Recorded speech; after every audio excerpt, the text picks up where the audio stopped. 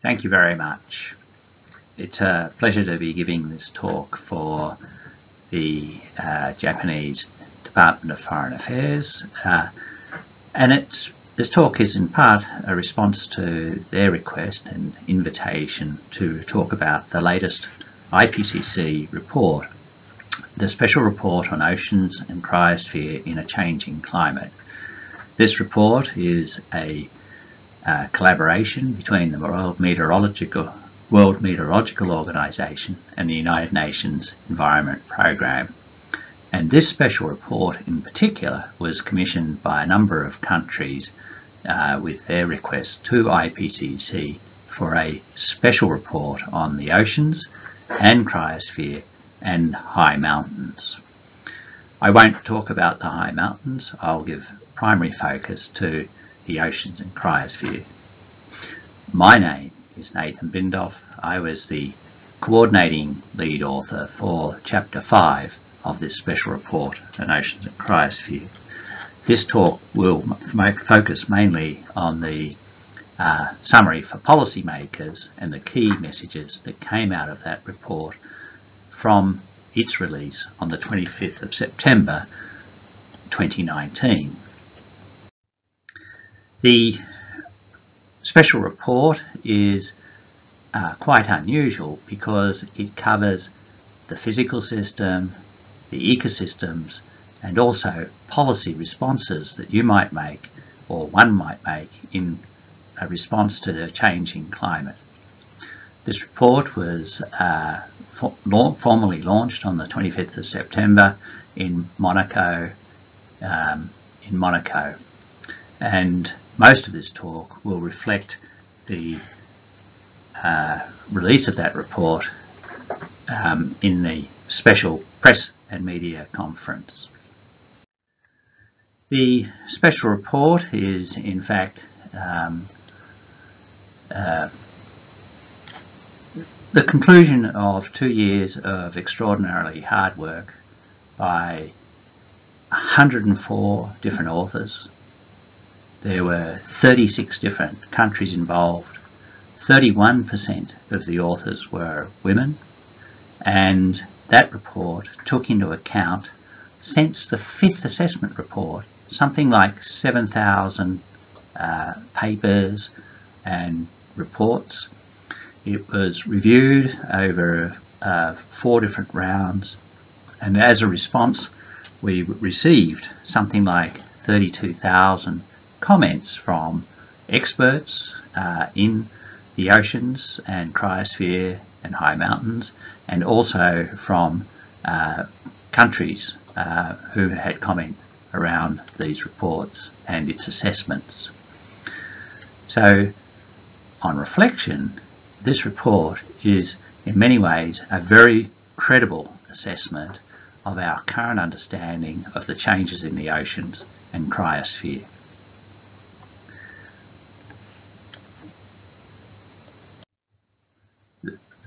One of the major conclusions that you could uh, sum up is that the world oceans and cryosphere have been taking the heat from climate change for decades. And taking the heat is actually a very nice pun on the fact that the oceans have a incredibly central role in the Earth's energy balance. The oceans in the fifth assessment report and in this report are estimated to be taking more than 90% of the total radiation balance, warming the oceans and delaying the surface, the rise in surface temperature both over land and in the oceans. The consequences, uh, as you'll kind of see, for both nature and humanity are quite sweeping and severe in this uh, particular part of the Earth system. I'll talk first about the polar regions. The polar regions, while not uh, part of the Pacific, have an incredibly important role in influencing the changes that will go, that will occur, and um, uh, and the responses and the people who are affected by changes in the polar regions. The polar regions central in many ways to the future of our coasts. The polar regions house, house um, the polar regions are the home to Greenland, Antarctic ice sheets, and the Greenland and Antarctic ice sheets are both losing mass. And this loss of mass leads to leads to increased amount of water in the oceans causing sea level to rise.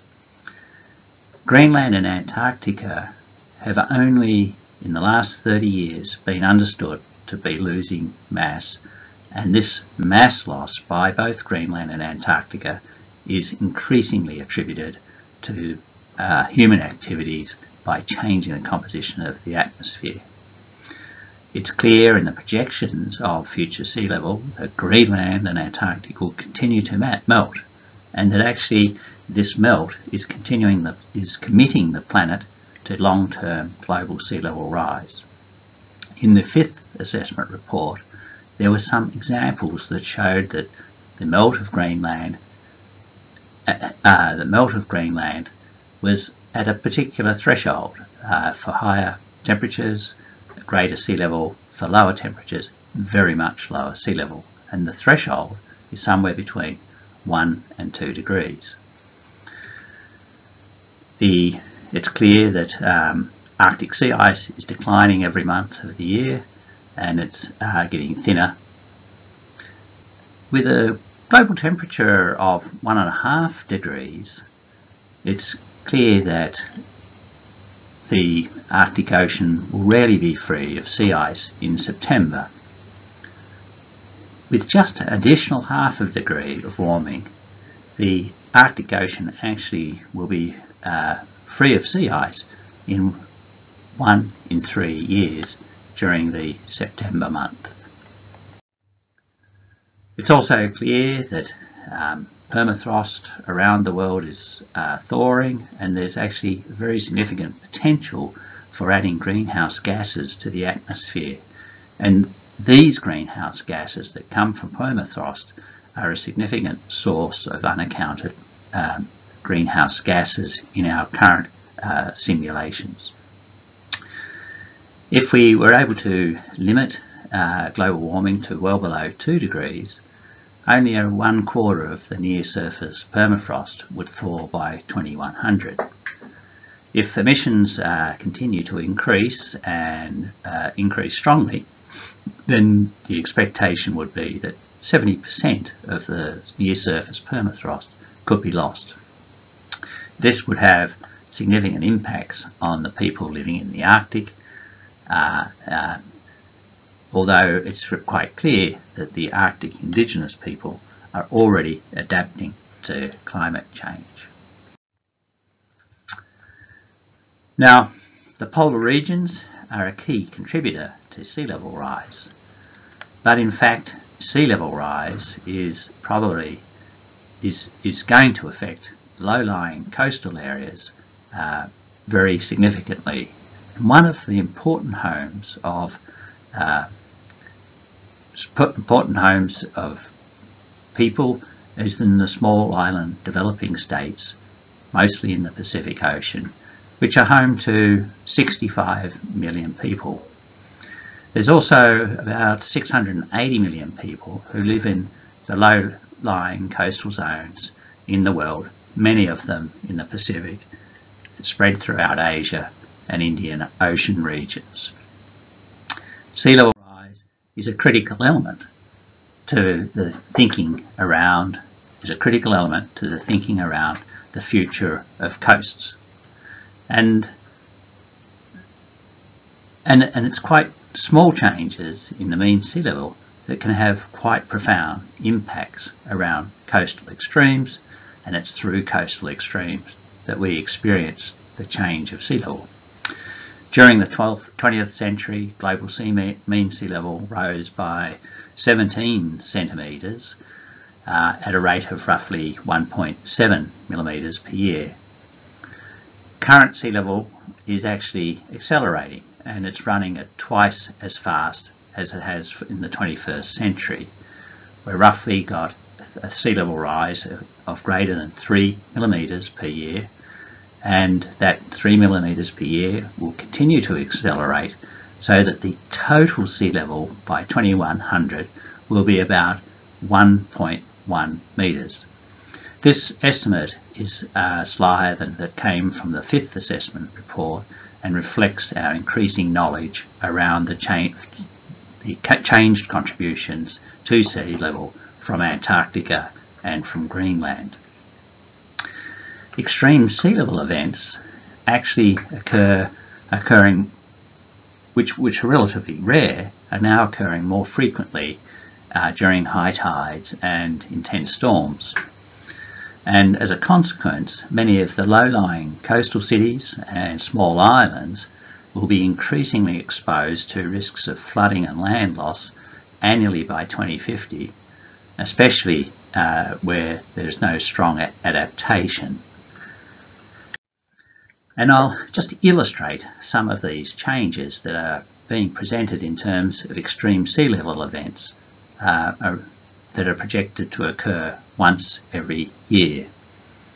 Already in many areas where sea level doesn't change, uh, where the sea level has been relatively constant, for instance in the small island in the Western Pacific here where my cursor is, you can already see that the extreme sea level events are already occurring annually. Now, if you look at the colours, you can see that uh, a yellow colour would mean that an extreme sea level event occurred every every uh, every year by 2100. An example is in the northern part of Australia. And one of the things that's striking with this map of an analysed variations for each of the tide gauge sites around in, across the world of uh, suitable duration is that there are very strong regional differences in the occurrence of high or extreme sea level events uh, every year. But the key point is that some areas have already experienced high sea level events occurring every year, particularly in the uh, in the tropical regions of the world. And, and what is further interesting is that we have options.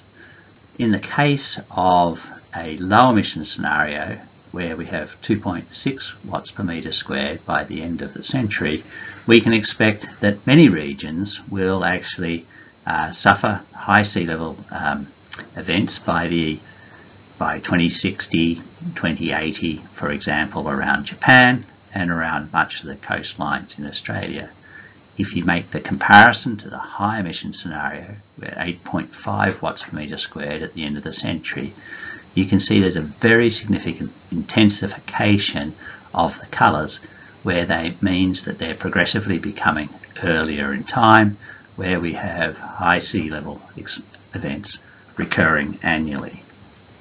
And indeed, it's quite clear in this figure which shows the difference between a low emission scenario and a high emission scenario that in many cases the choice of a low emission scenario would actually lead to uh, climate change, high, high sea level events um, being greater than 10 years earlier with a high emission scenario.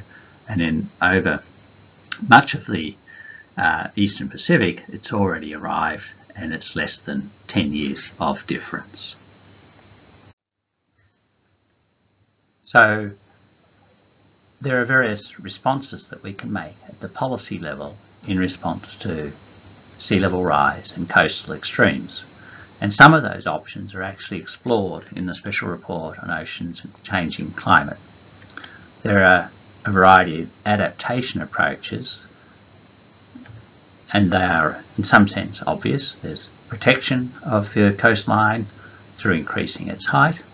There's actually accommodation where you let uh, localized inundation to occur. There's ecosystem-based adaptation responses, for example, the uh, planting of the planting of mangroves to increase the resilience of the coastal environment, the the management of dunes and other sorts of soft environments. There's coastal advance, where you literally actually build, uh, move forwards into the ocean to protect the, the, uh, the environment behind. And there's actually, finally, and perhaps a, a drastic solution, where there's managed relocation of assets and people. And the important thing is that something uneven about the risks and exposures. People often with the highest uh, exposure and vulnerability are those that have the lowest capacity to respond. So now let's talk about not just simply the coast and its height, but how the life in the oceans as well responds uh, as a response of the changing climate and human uh, activities. The oceans play an incredibly uh, important regulatory role in terms of the Earth's climate. The oceans have taken up more than 90% of the excess heat in the climate system and the ocean will continue to take up heat whether we have a low emission scenario or a much higher emission scenario. For a low emission scenario, it will take up a further two to four times more heat than we've already actually taken up, and a further five to seven times more heat with higher emissions. One of the things that is striking is that as you warm the surface of the planet, the waters below respond at a much slower rate, and as a consequence, there's a tendency for the ocean surface to become lighter and warmer than the deeper waters. And thus there's an increase in the stratification of the oceans. And one of the consequences of the increased stratification of the oceans is the reduced ability for the oceans to, to take surface waters and mix it into the lower waters. And therefore there's a reduction in oxygen to the deeper layers and a reduction in nutrients from the deeper layers to the surface layers, both of which have consequences for marine life. Because the ocean surface of the ocean is warming, marine heat waves, like on land, these uh, warm events, these extreme events, are becoming more frequent and increasingly severe. There are there is well documented evidence of these heat waves harming warm water corals and kelp forests and affecting the distribution of marine life. Marine heat waves are not only they twice as common, they're actually longer in duration. The ocean, um, in response to the increasing carbon emissions, increases increasingly takes up those carbon emissions and increases its own acidity. And this acidification of the surface ocean is more than 30%, is more than a 30% change in the number of H plus, hydrogen plus molecules, and it's actually between 20 to 30% of the total emissions from humankind. The fish in particular are very sensitive to the changing temperatures and because they can swim they actually move in response. So the warming of the oceans is shifting fish populations and I'll illustrate this a little bit more in a moment. But it turns out actually that this uh, shift in the populations is actually leading to a global level, a global reduction in catch potential and in some regions there will be very strong decreases and, and in some, and most particularly in the high latitudes, there will be increases uh, in productivity. Communities that actually depend on uh, seafood will have increased risks both from a decline in the amount of food and also in their nutritional health where they depend on fish for micronutrients. It's clear that uh, if we can reduce other pollution, other pressures, pressures on uh, fish populations, such as pollution, we will help marine life deal with these changes in the natural environment. Policy frameworks uh, currently exist actually for fisheries management and marine protected areas, but building on those current frameworks to uh, help people to adapt and respond to climate change. Let me just illustrate the sort of cycle of change that we might expect in the oceans and, and also give a few clues to the sorts of geographic regions that will most be affected. The changing ocean conditions that you can see on the right here is really around the drivers of the uh, of the system, the physical drivers, the changing temperatures, the changing level of oxygen in the water column, the changing level of uh, of ocean acidification, the ocean pH, ocean acidity. And, and the way that these physical drivers manifest themselves is they alter, and this is a particular part of the special report, they alter the surface net primary productivity, which affects our carbon, and, carbon and energy uh, for the underlying food web. That, that change in primary productivity affects the total animal biomass, particularly the organisms in the upper part of the food web, and that flows through to affecting maximum fisheries catch potential, where the term catch potential is really approximate, a proxy for the maximum, maximum sustainable yield uh, in the oceans. And it's through the drivers of temperature, uh, stratification and changing oxygen levels and acidification that we see and we can model these and we can see this as uh, as the net primary productivity the total animal biomass that we can estimate in the global oceans. This figure is showing those uh, the total animal biomass and the maximum fish catch potentials and with those drivers you can explore what is the consequence of these changes in the drivers of the climate system on for various emission scenarios. A low emission scenario with 2.6 watts per metre squared by the end of the 21st century and a high emission scenario by, of 8.5 watts per metre squared by the end of the 21st century. And if you look carefully you can see each of these figures is stippled and the stippling here shows the level of uh, model disagreement. So where areas are stippled, we have less confidence about the agreement between the models.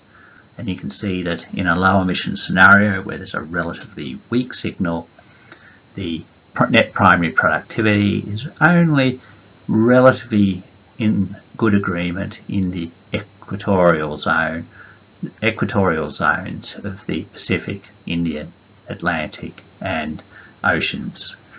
You can see that actually we have even greater agreement uh, on the question of the total animal biomass and you can see that in many regions the positive numbers, uh, the reds, the oranges through to browns reflect a declining animal biomass in the once again in the equatorial regions of the global oceans with more neutral colours around the grey and then increases in productivity, particularly in the high northern latitudes and also in many parts of the Southern Ocean itself.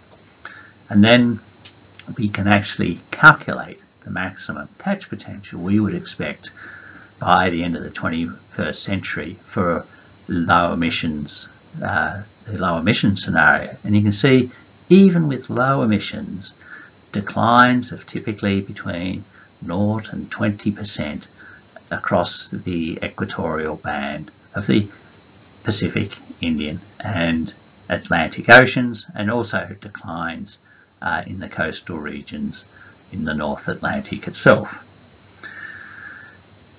The, if these uh, declines are significant are significant in the context of a changing climate, the high emission scenario provides a much more intense or amplified perspective than the low emission scenario. And you can see that even with high emission scenario, more than 50% change in the animal, in the fish catch potential, in the fish, up to 50% change in the fish catch potential through most of the equatorial zone with increased yields in the Arctic Ocean and high latitude uh, polar regions and with less certainty around high, the high latitude Southern Ocean itself. So one of the striking messages that comes from this assessment of uh, what the future of climate change has on both maximum catch potential and also on total animal biomass is very sharp and strong uh, negative impacts, particularly through the equatorial band, equatorial band in the Pacific, Indian and Atlantic, and Atlantic Oceans, with impacts also in the Northern Atlantic.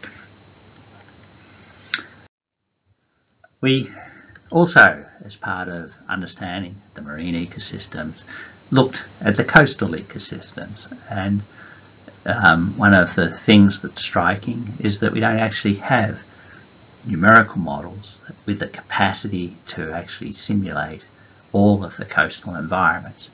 And here we use a sophisticated, a relatively sophisticated system of risk assessment based on what are the key drivers of the marine ecosystem, coastal ecosystems. There's obviously the warming, there's the changes in uh, pH, there's eutrophication going on in the coastal regions, and so there's very often a decline in oxygen, driven in part by human activity and also by a um, increased stratification, there's a tendency for increased inundation of the coasters and other extreme events that occur in the coastal regions. And all of these can actually inter, inter, interact with each other to develop a uh, to develop negative or positive impacts for uh, coastal ecosystems. So we're interested in how all of these drivers uh, hazards, induced changes in, in the structure, the functioning and the biodiversity of these marine ecosystems and how they can uh, adapt naturally. And it led to this risk assessment for most of the key marine ecosystems around the world. So each of these bars, many have been published like this before in previous reports, covered ecosystems such as warm water corals, kelp forests, sea meadows, seagrass meadows, the epipelagic region uh, in the open ocean and also mostly in the open ocean, rocky shores, salt marshes, cold water corals, estuaries, sandy beaches, mangrove forests and deep sea benthos. And you can see, in fact, that these risks and the thresholds associated with the changing risks, indicated here by the uh, small vertical bar to the right of the uh, burning ember, with their respective confidence levels. And you can see that these different ecosystems have different uh, thresholds between their low, medium and high risk low, low to medium to high to very high risk. And you can see that the, we have more information and more certainty around corals and we get weaker and weaker when we talk about the deep sea benthos. And in this analysis, with everything has been calibrated to global mean surface temperature relative to pre-industrial times. And broadly speaking, but not exactly, we've come about 0.8 degrees in the global mean sea surface temperature. We're um, looking at policy options since the Paris Agreement of 1.5 degrees and the Kyoto Agreement of 2 degrees, and then uh, with an unmitigated world, increased temperatures up to 4 degrees. And what we can see across all of these ecosystems is that none of them have actually have a beneficial change in the ecosystem as a response to uh, the warming across all of those systems. All of them have, even the deep sea benthos, evidence of change and none of them have positive. The most affected ecosystems the warm water corals, uh, particularly in the equatorial band, affects tourism for many of the small island developing states and, it, and for uh, countries like Australia. So let me now draw this uh, brief summary, very brief summary of the IPCC Special Report on Ocean and Cryosphere in a Changing Climate together. It's very clear in the report that we're able to present uh, information around a variety of issues, key and important issues. The future of the Greenland and Antarctic ice sheet, the future of permafrost, the future of uh, coastal environments which affect more than between six and 700 million people around the world, and in particular those in the small island developing states. We can see that fishing uh, and fishing catch potential is expected to decline.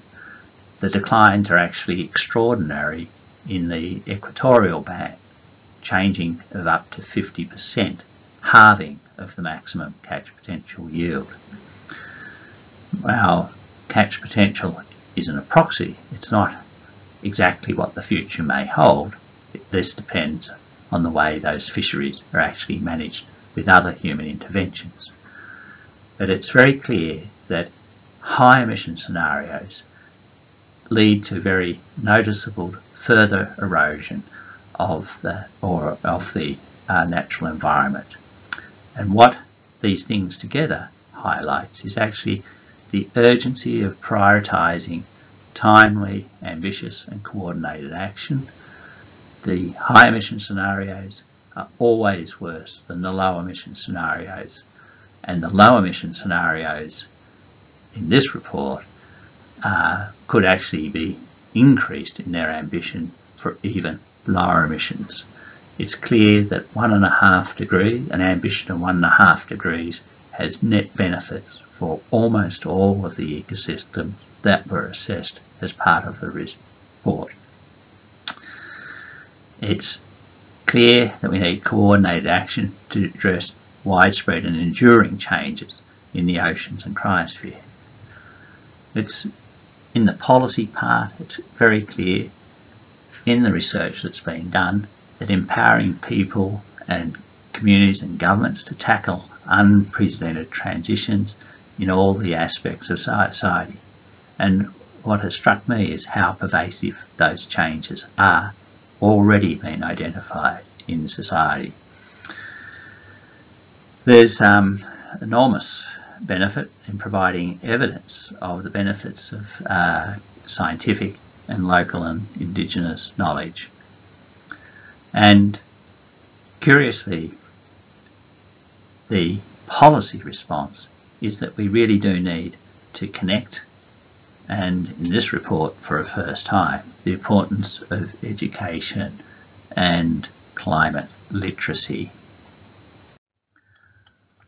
So in the Monaco uh, release of the summary for policymakers this statement was here we more decisively and earlier we act the more we'll be able to address the unavoidable changes and manage the risks, improve lives and achieve sustainability for ecosystems and people around the world today and in the future. And an overarching message is that the oceans and cryosphere are critical elements of the climate system. The failure of the ice sheets, really even by 2100, threatens nearly a billion people. The high mountain areas, actually, there's nearly a billion that live there. The oceans and cryosphere feed us, and the catch potential is expected to decline very significantly. The oceans are under pressure, and yet we use them for many things. Thank you very much. And there's much more information at these websites and Twitter feeds.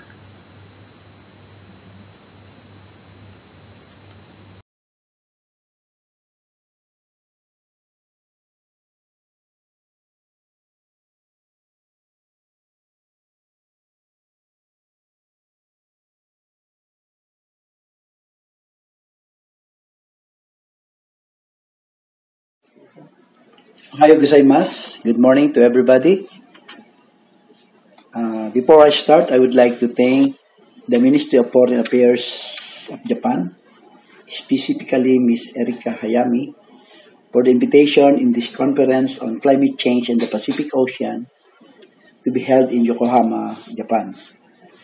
Yours truly is Dr. Landrico Dalida Jr., the Deputy Administrator for Operation and Services in the Philippines, and in cooperation with Thelma A. Cinco, the Assistant Weather Services Chief, Climatology and Agrometeorology Division, both of the DOST Pagasa. And this is our presentation. The observed climate trends and projected climate change in the Philippines. The outline of my uh, presentation, one is the observed trends in the Philippines and the climate uh, projection, the SRES and RCP based in climate change uh, projection. Philippines is divided into four types of uh, climate. We have the type 1, type 2, type 3, and type 4. Type 1 is the uh, area in the western part of the Philippines which has two pronounced seasons that dry from November to April and wet during the rest of the year. Uh, the type 2, which is on the eastern side of the Philippines, has no dry season with a very pronounced uh, maximum rain period from December to February. And type 3 and type 4 is on the inland part of the Philippines. There are several factors that cause climate variability in the Philippines. One is the southwest monsoon from June to July and August, and then the northeast monsoon on the months of October, November, and December. We have also uh, tropical cyclones, which has the 19 to 20 average tropical cyclone in a year, the highest in the world. And the Philippines is the third in the world as the country's most exposed and at risk to natural hazard from the report of 2016 of the world risk after Vanuatu and Tonga. And aside from that, we have the intertropical convergence zone. What are the observed climate trends in the Philippines? In the Philippines, from the data from Pag-asa, the temperature is observed as rising. And that uh, from 1951 to 2015, or for the past 65 years, we have an increase of 6.68 degrees centigrade. And for the annual maximum temperature increase, we have an 0.24 degrees centigrade. And for the annual minimum temperature increase, we have 0.99 degrees centigrade. Here shows the Philippine projection or the mean temperature uh, from 1971 to 2000, which is uh, from the RCP 8.5 and RCP 4.5 uh, model, which is uh, red and blue consecutively. And for the black one, these are the observed uh, temperature in the Philippines. And for the result of the RCP 4.5 and RCP 8.5, there is an increase in annual mean temperature, uh, which shows a large amount of warming by the end of the century, with all the models agreeing on warming for both uh, this model. And these are the summary of changes uh, from the RCP 4.5 and RCP 8.5 from the mid 21st century to the end of the 21st century and that uh, the amount is uh, for RCP 4.5, the increase is from 0.9 to 1.9 from the mid 21st century.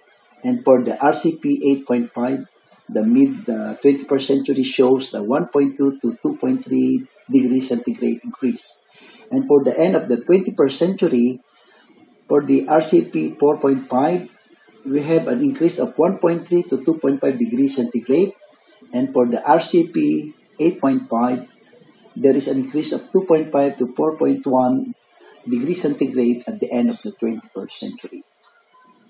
In the Philippines, also on the on this uh, next slide, there is there is an observed number of hot days and warm nights, as shown in this uh, slide. And also, as observed in the eastern Leyte and Samar, the east uh, of Mindanao, south of Zamboanga, and along the southwestern coast of Central Visayas, Central and Western Visayas, there is a sea level increase or rising in the Philippines. And uh, from the study of the DFID project, UK Met Office uh, report, there is an increase of 4.5 to 5 millimeter per year from 1993 to 2015, as shown by this slide.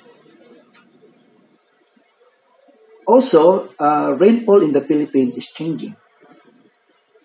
For the blue uh, arrow, parts of central and northern Luzon, part of eastern Visayas, and northeastern and southwestern section of Mindanao, there is an increase of rainfall. But for the uh, blue, uh, for the brown uh, arrow, there is uh, an observed uh, rainfall decrease in under section of Luzon, part of western Visayas, and the central and western section in Mindanao.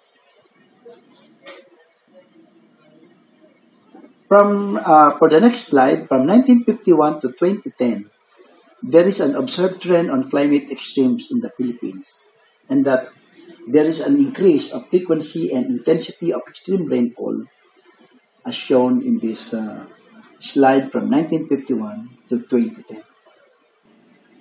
And what are the potential impacts of climate change in the Philippines? The increase of extreme rainfall means there is a risk to floodings and landslide as shown in this uh, next slide that uh, landslide uh, this was in Saint Bernard landslide in February 2006, showing that uh, in the part of Guinsaugon, Central Philippines, there is a, an uh, increase. Uh, there is a landslide which kills thousands of people downstream of this area. Also, due to tropical cyclone uh, Sendong on December 15 to 17, 2011, there are many parts in the Philippines which submerged in flooding. In Manila, in Metro Manila, which is the heart of the Philippines, there is what we call the risk to urban flooding and transport disruption. And this uh, picture shows what happened in the central uh, in central Metro Manila during the occurrence of tropical cyclone Ondoy. Also, in the next slide, High temperature and prolonged dry season means deficit in rainwater. And uh, this will also affect our agriculture industries. And many parts of the Philippines, especially on urban areas, there will be shortage in rainwater. From uh, 1948 to 2016, uh, there is an observation that there are some uh, changes in tropical cyclone, meaning the annual frequency of tropical cyclone in the Philippines, uh, Philippine Area of Responsibility, responsibility from 1948 to 2016 is shown in this uh, slide. And what does it mean? Meaning that for the projected future, in the next slide, uh, projected future change in the tropical cyclone is to affect the Philippines. And for the climate model simulation from 1, 2, and uh, 5, for the change in tropical cyclone frequency, there's a decrease in the simulation of the climate model in number 1, 2, and 5, and wherein the change in tropical cyclone intensity in model 2 and 4 shows or indicate an increase in tropical cyclone intensity. And this source was uh, from the Doron et al. 2016 of the FID Project UK Met Office report. And from Pagasa observation also, from uh, 1980 to 2015, there is a, uh, this shows that uh, the graph shows a very strong tropical cyclone occurrences in the Philippines, meaning uh, strong tropical cyclones are increasing for the last uh, uh, years of 1980 to 2015. And uh, the next slide shows the effect of these uh, strong or very strong typhoons that hit uh, Philippines. Uh, on the left side shows the uh, damages from Typhoon Milenio from September 25 to 20, 29 in 2006, which has uh, a record of 100 maximum uh, wind of 150 kilometers per hour and a gustiness of 160 kilometers per hour. And there were some many casualties in the area. What the Philippines do to make the country resilient to climate uh, variability and change? The Philippines, through its uh, National Disaster Coordinating Council or the NDCC, strengthened its action plan through the various phases of disaster management in support to disaster risk management and climate change adaptation. And we have four uh, action plan. One is the mitigation or prevention. Number two is preparedness. Three is response. And number four is the recovery.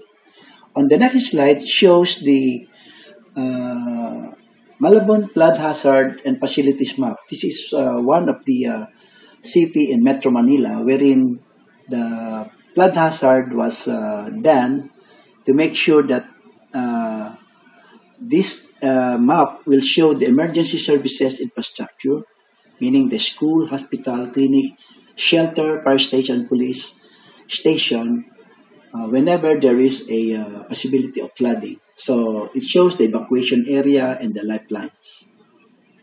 On the next slide, uh, it shows that before the occurrence of a hazard, let's say the tropical cyclone, the community in the area are preparing for an evacuation drill so that uh, whenever there is a tropical cyclone uh, landfall in their area, it is automatic that uh, they should evacuate and go to their respective uh, evacuation centers. Another uh, means of informing the people is the public education and awareness program.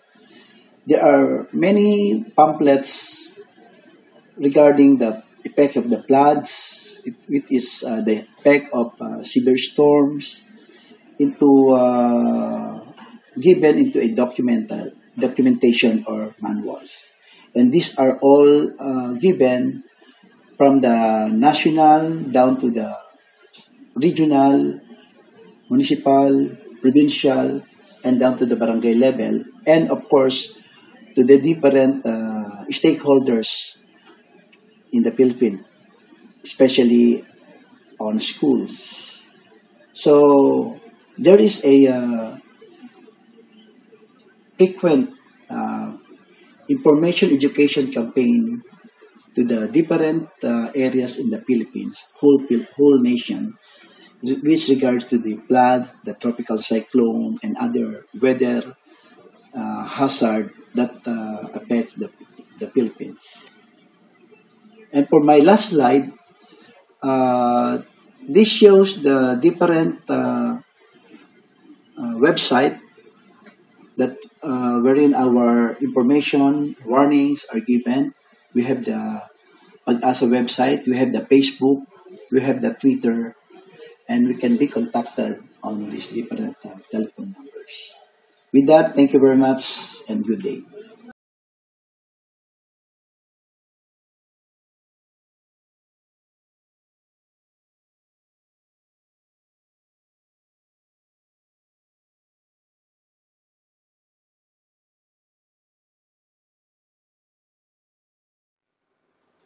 My name is Nobuhito Mori uh, from Disaster Prevention Research Institute of Kyoto University.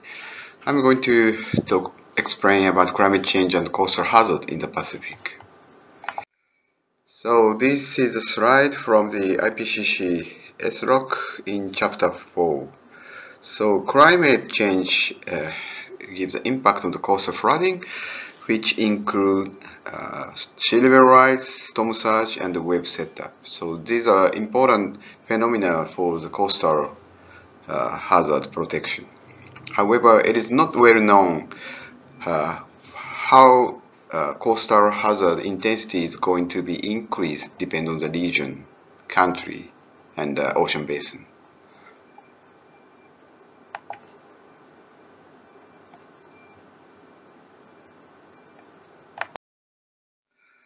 especially uh, regarding coastal hazard uh, or coastal uh, protection, uh, uh, sea level rise is one of key point.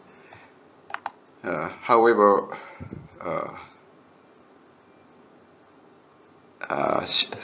however, waves, swells, and storm surges are important to know.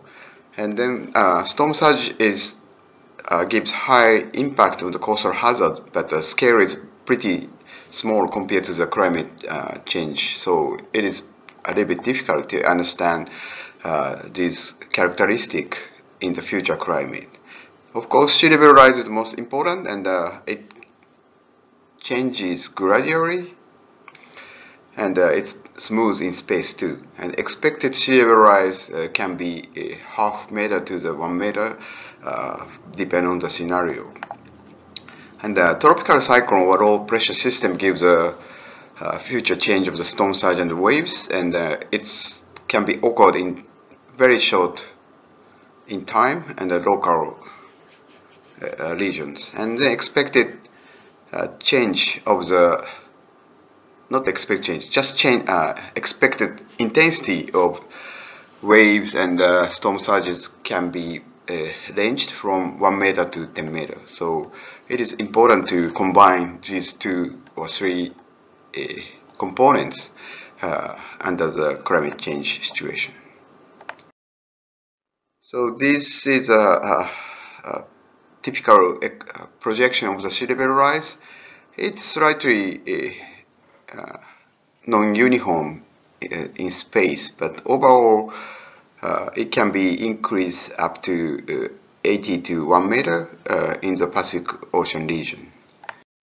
Then waves projection is uh, difficult to conduct until IPCC AR5 and this is our recent paper from Nature Climate Change and then uh, mean average wave height is going to be increase in the middle of the Pacific but will be decrease in the northern Pacific region.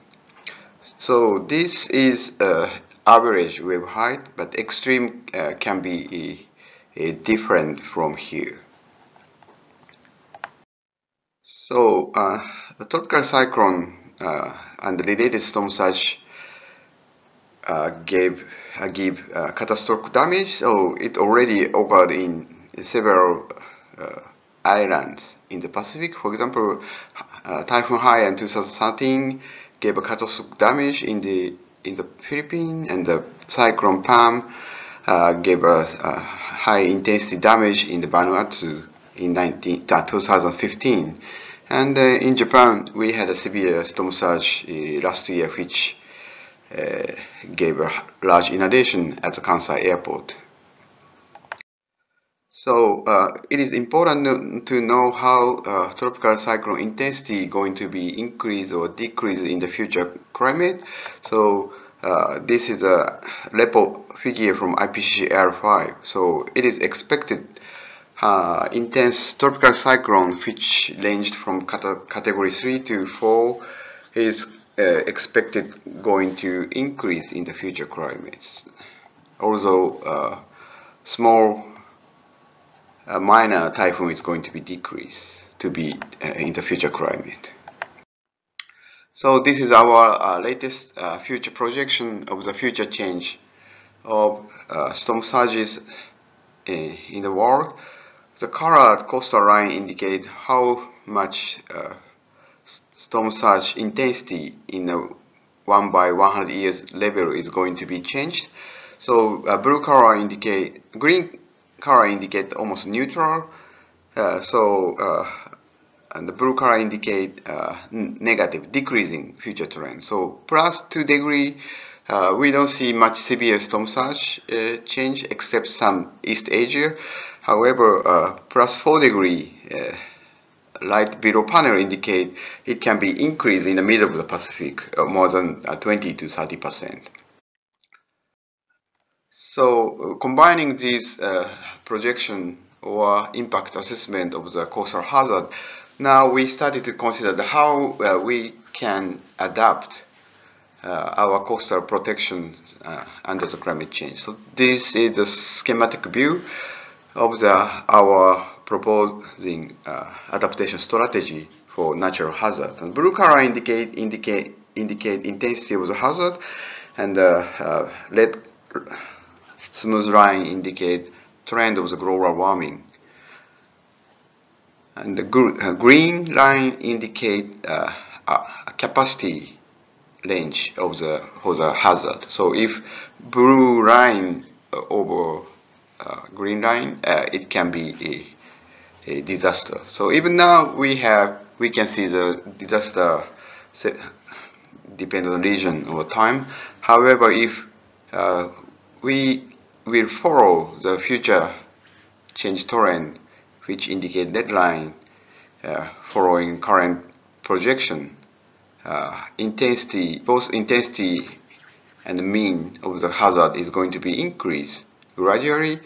Uh, with this kind of trend, we need to adapt or increase of the capacity range as shown in this figure.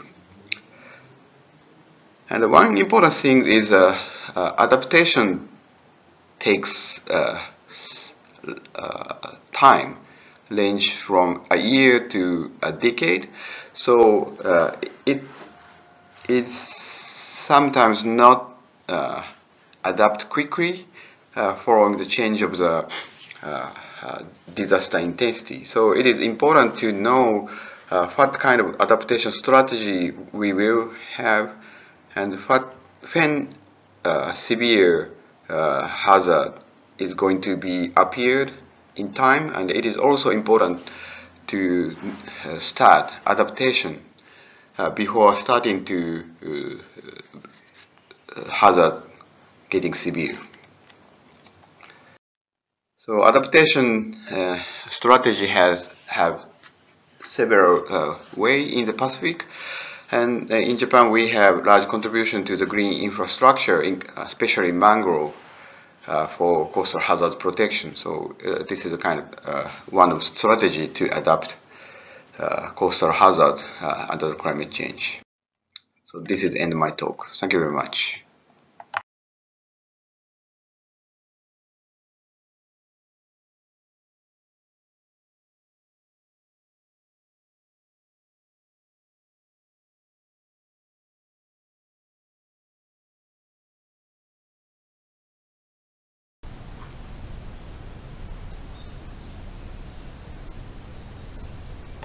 Title of uh, my talk is another carbon dioxide problem. That means ocean acidification. I am Nami Harada, Japanese in for Marine Earth Science and Technology.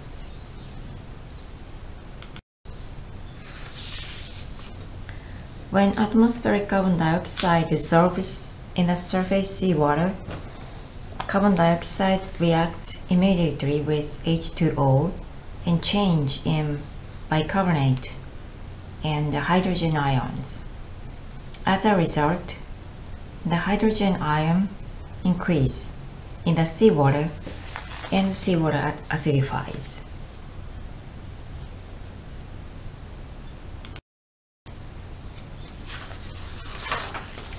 This figure shows the prediction of aragonite saturation degree in 2100. If ocean acidification progress, the saturation degree of calcium carbonate become under saturation state. Red color means under saturation area for aragonite. As you can see, the significant ocean acidification will expand, especially in higher latitude in the Pacific, including Japanese coastal area. We compare the annual reduction rate of pH in pelagic ocean in the world. The light panel shows the time series uh, locations and annual reduction rate of pH at every site published by WMO Greenhouse Gas Bulletin 2014. The reduction rate of pH at the monitoring site in the Western Pacific Ocean, Station Knot and K2, is largest in the world. If we look at the coastal area, the values is larger than the in pelagic waters, minus 0.003 plus minus 0.0009 per year. Uh, this value is coming from the northern part of Japanese main island. Next, let's see the relationship between atmospheric carbon dioxide and pH. The atmospheric carbon dioxide is 400 ppm at present. This value becomes 900 ppm in 2100 if we don't take any action. The pH reduction range will be 0.3 even if the atmospheric carbon dioxide will be 900 ppm. It looks small and no problem because the pH reduction is still ranging from alkaline to neutral. However, changing itself will give a big impact on marine organisms.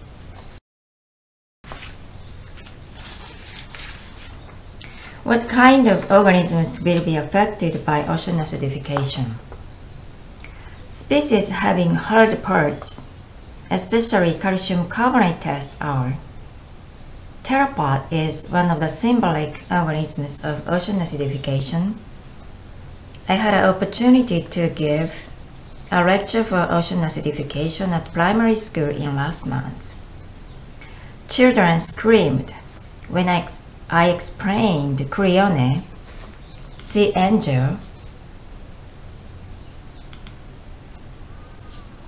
Clione sea angel cannot survive under serious ocean acidification condition because pteropod is only Clione's food.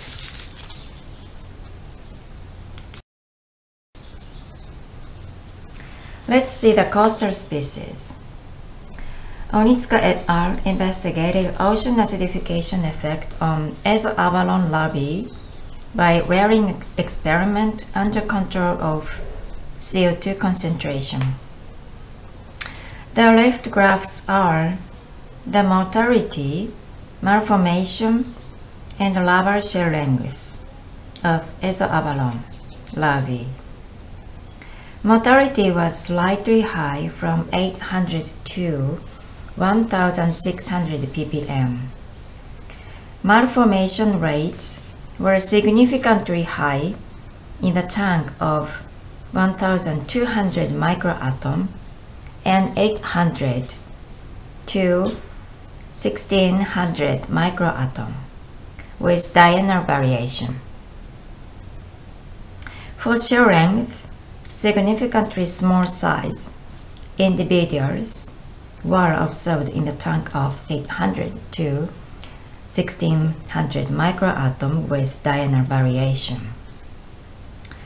This study found that there was a PCO2 threshold 1100 ppm associated with omega aragonite for Ezo abalone larvae.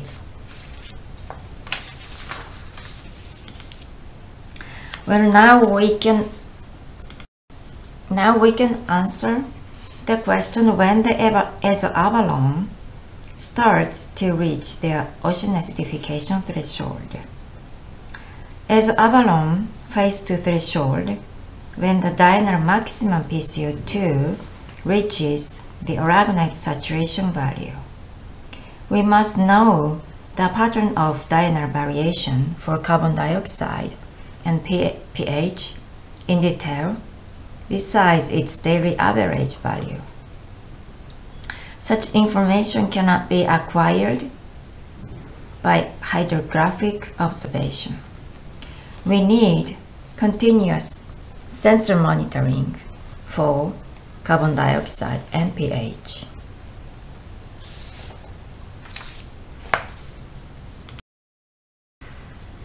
Finally, we would like to consider about sushi. This is a standard menu served at the Sushi Bar in Sapporo, Hokkaido.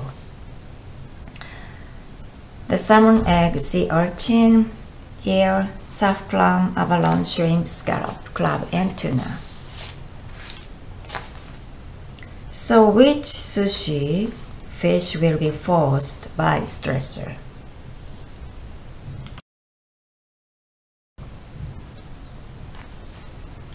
Sea urchin, surf clam, abalone, shrimp, scallop, crab are potentially affected by ocean acidification.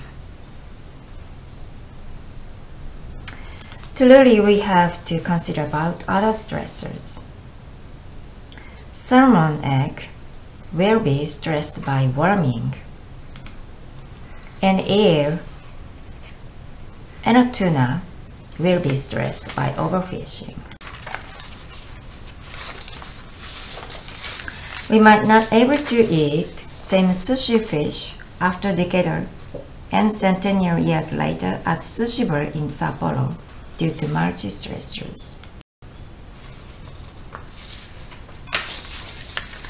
Finally, I'd like to emphasize that the sushi's case in this presentation will not happen with an year time scale, but could happen with decadal centennial timescale depending on our action. In Tokyo Bay, anthropogenic eutrophication causes diurnal PCO2 increasing plus 200 ppm and large diurnal variation larger than 800 ppm. Even if positive saturation state large diurnal carbon dioxide increasing and diurnal variation would give a negative impact on growth of larval shellfish.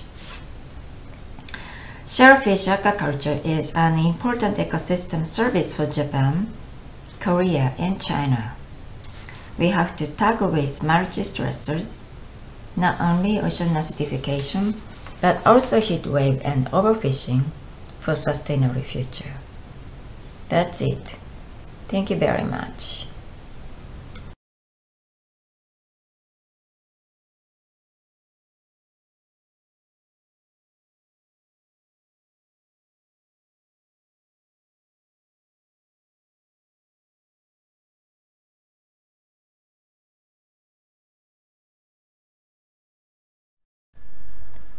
First of all, I appreciate the symposium organizers to invite me to the important event. Unfortunately, the symposium was not held due to the typhoon. However, I am very happy to share the information with others through the internet. Thank you again for the Ministry of Foreign Affairs of Japan. Today, I will talk on climate change and fish production in the Pacific. First, I will explain about global fish production and then touch with climate impacts on fish production, show risk drivers, and discuss about our way to sustainable future. Here is the introduction. As you know, the global ocean covers 70% of surface of the earth and there are a variety of ecosystem services. one of the most important ecosystem services of the ocean is provision of food. In this figure, the orange line shows world population growth and the red line shows apparent consumption of fish and shellfish by one person a year based on Food and Agriculture Organization of the United Nations.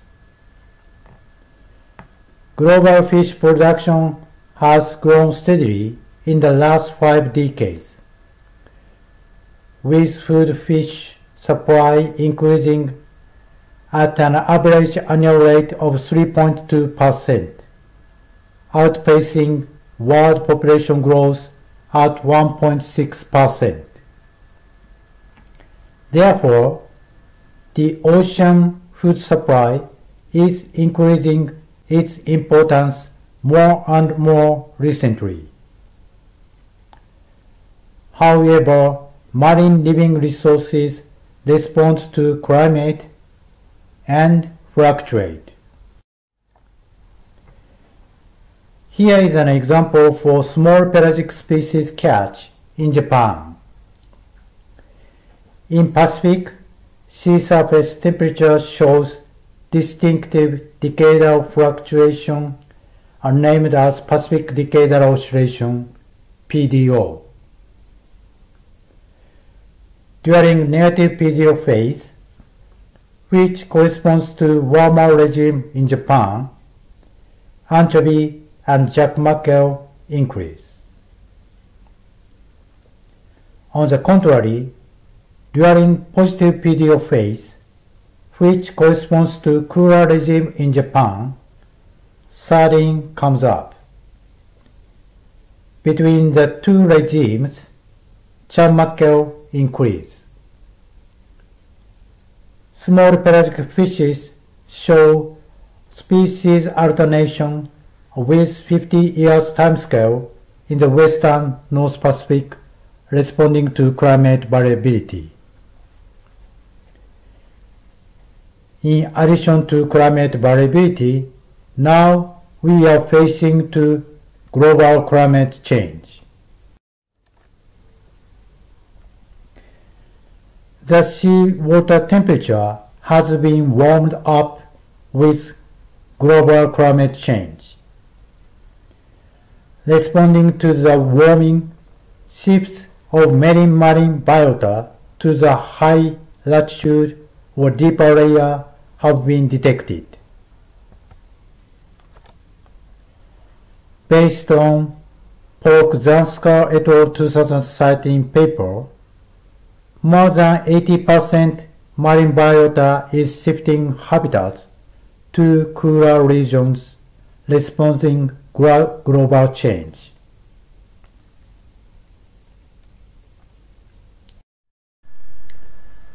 The driver's influence on marine ecosystem is not only temperature.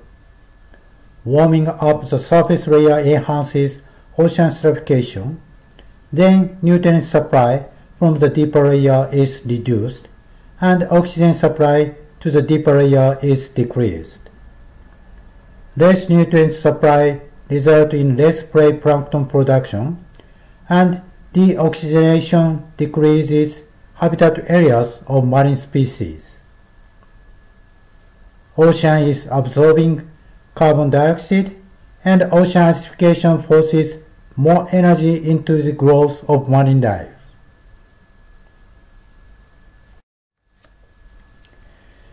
Based on potential future change of ocean condition, future potential fishery catch was projected.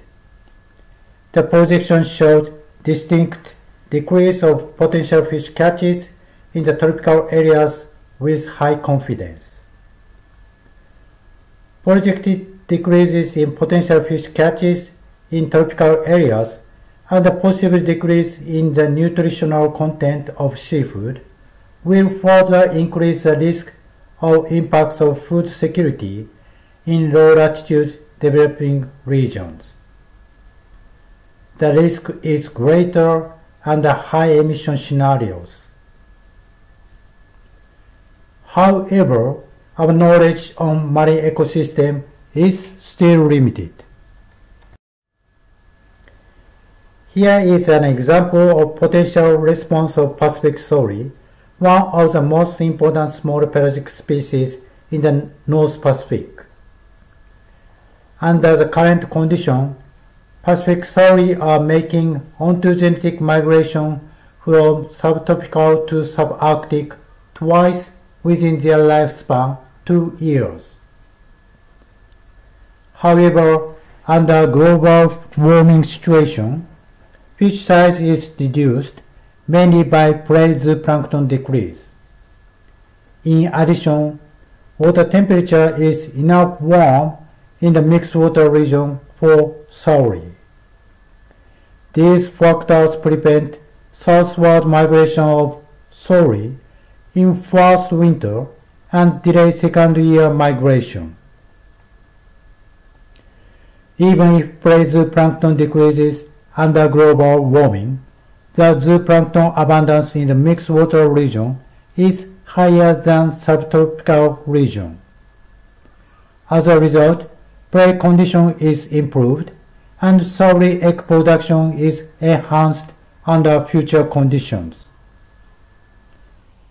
As shown here, the response of marine ecosystem may be more complex.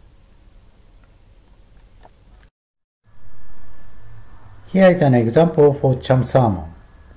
Based on the current optimal temperature, it was projected that chum salmon cannot migrate back to Japan in the end of 21st century.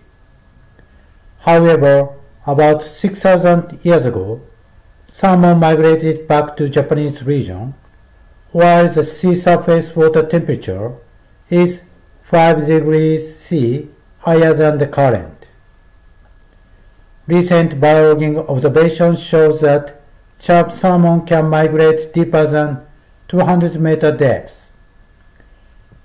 It may be possible for chum salmon to avoid the warmer temperature by migrating in the deeper layer.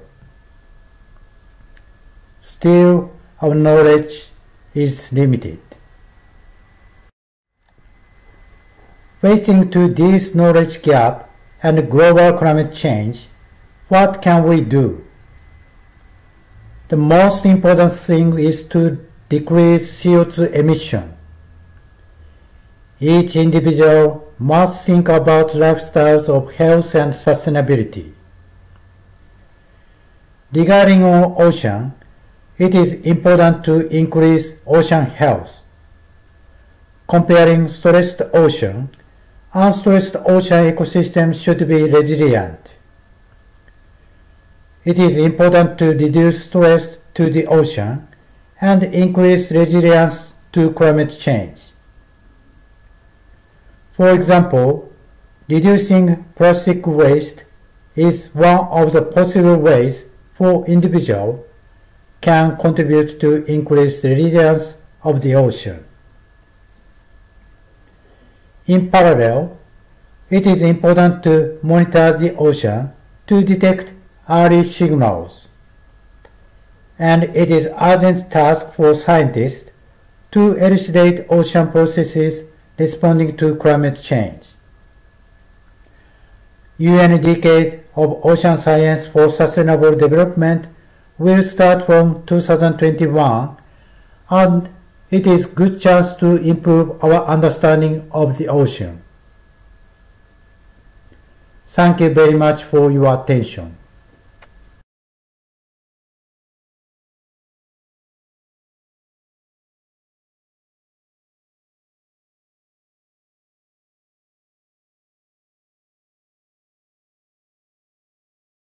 We would like to um, start by reviewing um, your presentations.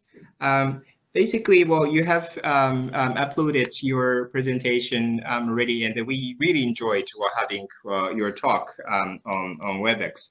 But uh, for the benefit of the, the, further discussion, I, we would like to start by reviewing your presentations.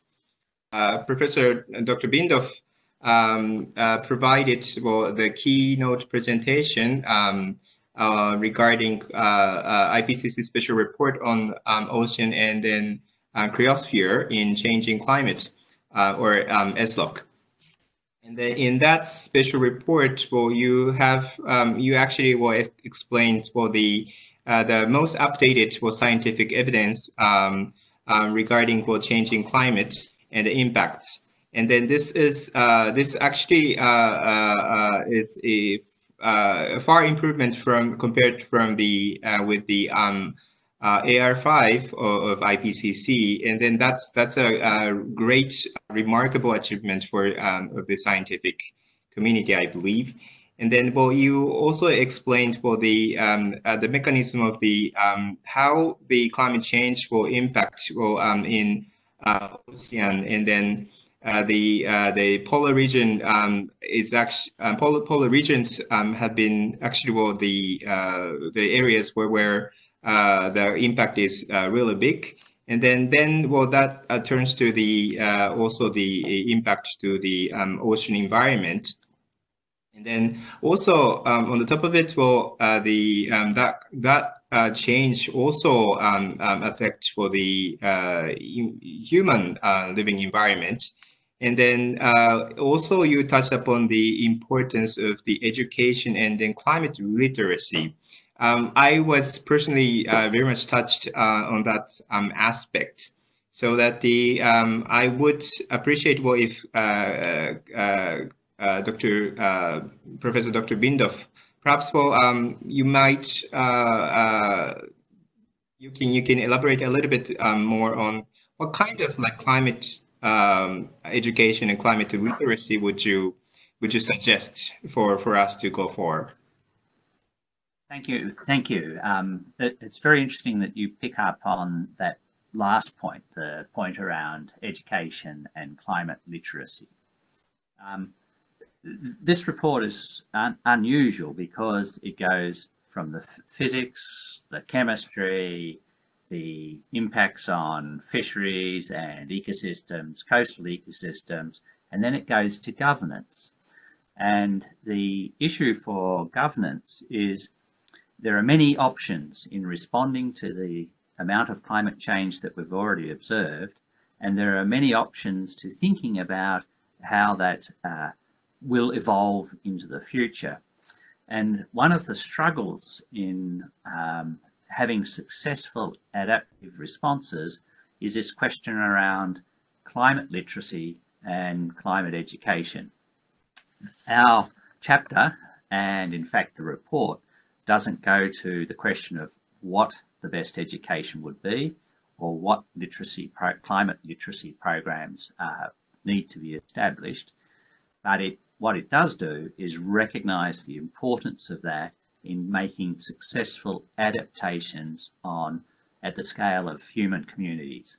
And so that was a element that was drawn out from our chapter but actually also across the six chapters uh, in that special report. So, so I like the fact that you actually pick up on that. Um, it's very clear we have to adapt in response to climate change. And because adaptation occurs on human scales, human communities, uh, national scales and international scales, it actually demands that kind of education and climate literacy so that we actually have successful adaptation responses. Is there a, I can talk too much, so let's just, uh, maybe I should just rein myself in. Is there anything else you would like me to talk to um, uh, at this moment?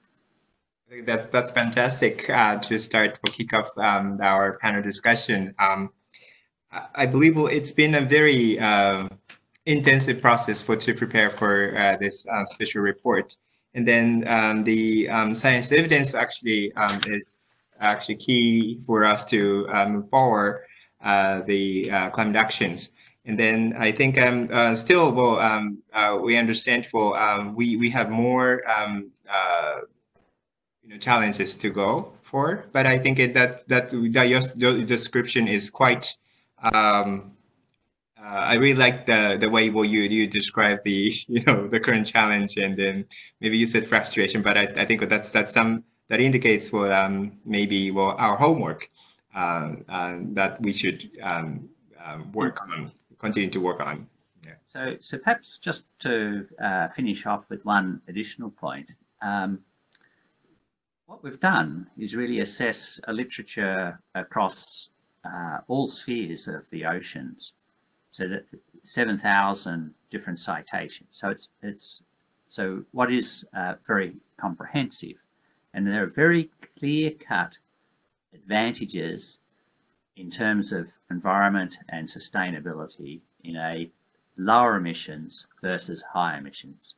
And it's, it's very clear that actually there are distinct benefits between the lower emission pathways for the for almost all ecosystems uh, on in the coast and actually uh, certainly in the surface oceans and to some extent in the deep oceans.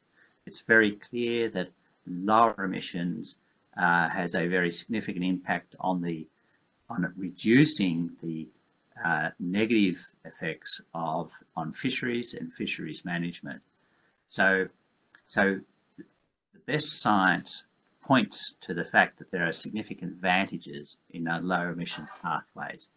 And so that one of the things that surprised me uh, in this message, in this report is actually um, a little bit about the need for urgent action if we want to, if we decide these things are very important, right? That's a societal decision, but urgent action is really required to actually deliver against those lower emission pathways for which we can see clear benefits.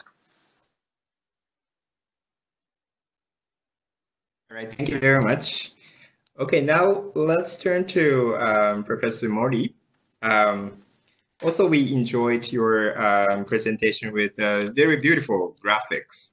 And uh, well, we understand for the from your uh, presentation, well, the climate change um, impacts actually uh, the uh, the um, sea level rise uh, increases for the uh, the risks of natural disasters, and then um, that includes for the well high tide and then um, um the uh, the low low pressure and the change of waves, and then also you introduce the the the current situation of like adaptations and then, well, also uh, you you posed a challenge of uh, uh, uh, uh prediction uh, of um, typhoon coming from the climate change. Well, um, probably, well, this time we we're, it's still challenging. Well, um, to say, well, what, how many, what, what what kind of typhoon is um, directly or indirectly will um,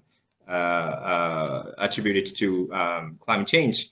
But I think, um, um, uh, well, you also mentioned the the uh, decrease of the number of um, typhoon events, but the intense, uh, but the uh, the the there is a tendency of the uh, in, uh, highly well intensive, high intense um, typhoon, so that the those kind of trends and phenomena were um, introduced for um, in your presentations. And then um, perhaps well, um, I should ask uh, uh, to you, Mori Sensei, uh, about a little bit more uh, uh, for for our uh, understanding of the mechanism of um, climate change impacts. For example, um, if we look at the um, high tide or um, the rate of occurrence of high tide for after half 100 years, uh, well, I can see well uh, slightly above the equator uh, in northern uh, side of northern latitude, perhaps for um, north latitude um, 50 to 30 degrees. Well, it looks like uh, it's increasing. Um, is that uh, is that the case? Well, um, is that right to understand? Well, that is the um, the hotspots or well the area where we are going to see um, more uh, occurrence of uh, high tide or, or other uh, natural disaster events 100 years later? So this is this is one humble question uh, from us. Okay, you may looking my some of the slide and uh, one of my slide uh, present extreme storm surge projection. That is not 100 years later. That is an event can be occurred once per every 100 years. Okay. Okay. Then, uh, so one of my, uh, I, one, one, I wanted to emphasize if we have a conference uh, a couple of weeks ago, uh, one is adaptation is very difficult depend on the time scale. So, for example, uh, Professor Bindoff uh, has a one figure how uh, we can adapt uh, under the severe climate change in the island. For one of option is, a, for example, nat natural ecosystem like using mangrove or coral reef. But it, for, for example, mangrove reforestation take uh, 10 to 20 years to get enough function to reduce uh, coastal disasters. So uh, start of the timing to adaptation is related to the uh, how uh, climate change is going to be severe. So we need to start adaptation uh, five to maybe 30 years in advance, depend on the adaptation strategy. So that is uh, important to discuss near future. And additionally, I want to emphasize that uh, in our field, coastal hazard, uh, number of study in the Pacific Island is very, very limited. So we, uh, although there are so many research ongoing in the northern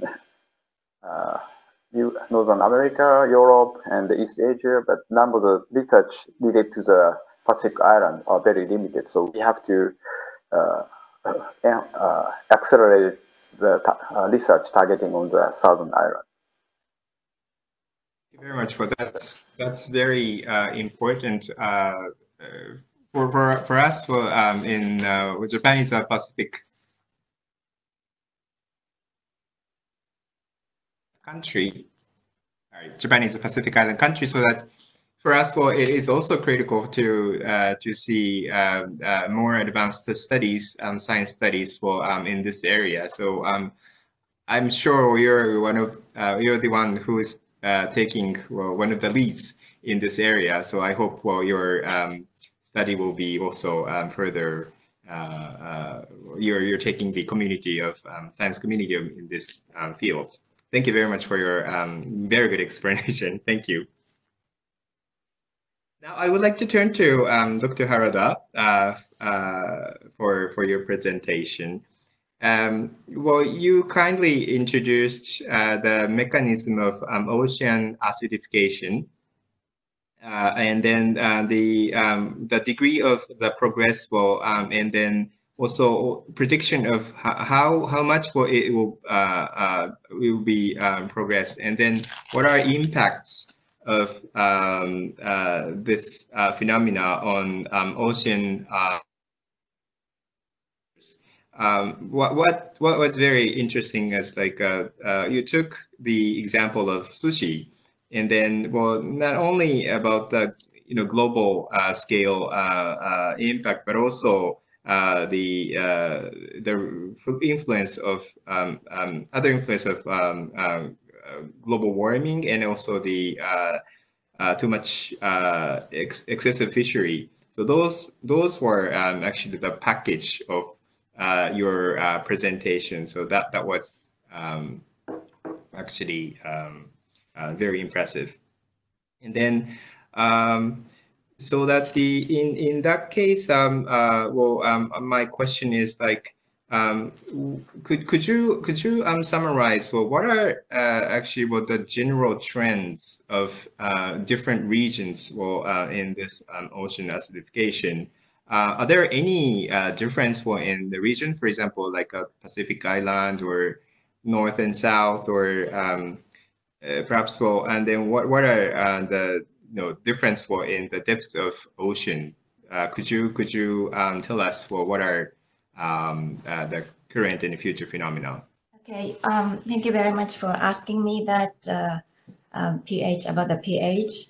So um, the annual reduction rate is um, very different depending on the place.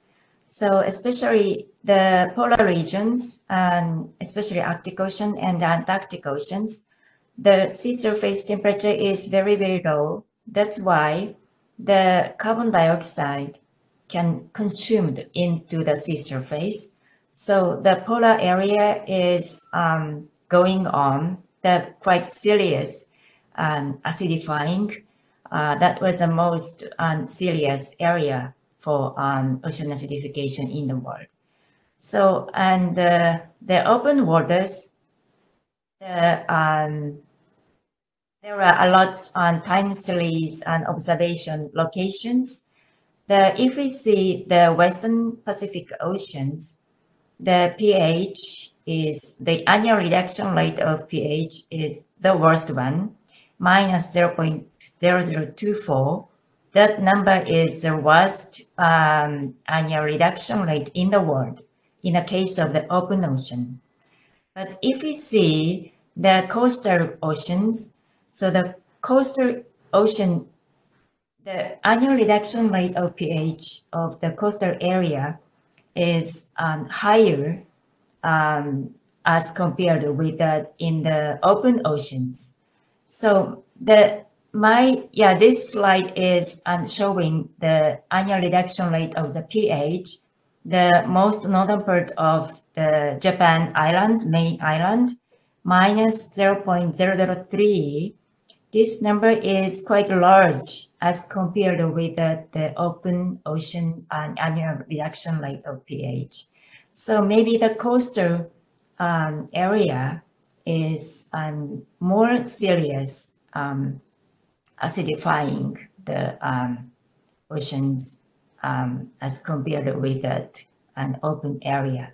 So, and if we see the more on tropical area, the maybe annual reduction rate of pH is not so high, but I think that changing itself is um, very important, quite serious for the um, organisms, the living organisms. So the reduction rate, even if the number of reduction rate is small, but changing itself given a large impact on the organisms, marine organisms. Okay? Thank you very much. Well, that is quite alarming um, fact for that. For uh, acidification uh, of the ocean um, is so much for um, progressing, and then that is of course, directly uh, impacting or our lives or like, uh, um, and also indirectly. Well, and then I think what we we fear well um, well there there should be also a long term um, negative impact so that that that's something well um, perhaps well later well you could you could also elaborate in um, and then we'll explain well uh, how we should respond and then um, that that's that's quite um, surprising but um, that that's that's something happening um, around us. Thank you very much for your explanation. Now, um, uh, Ito Sensei, um, are you? Uh, do you hear us? Yes, now okay. I'm here. Yes. Thank you very much. Um, Harada Sensei now um, talked about the um, ocean acidification, and then uh, Ito Sensei, we also uh, took the uh, the case of uh, fishery and fishery um, um, impact on fishery. Uh, since well, it's it's a very important industry for us. Well, um, but uh, and also it's it's a very good um, point for explanation um, to to people who who who are not um, scientists. Um, but also, well, you uh, went further on uh, the uh, the other uh, science phenomena in ocean, such as like less nutrients and also deoxygenation on the top of um, acidification. And then, well, that that is actually well very uh uh well we, we learned a lot from from your explanation. Um, we we also see like a, a, our um, typical um, autumn fish or uh, fall fish or in summer, uh, Pacific saury. Well, um, we we came to learn uh, from your presentation the that uh, the uh, um, areas well that that stay in trouble um, around the uh, big ocean well then that um, has been changed so that the well that that's a very interesting part. Well perhaps well you can elaborate a little bit more on the on that um, part. Well that's that's quite attracting um, our attention. So please?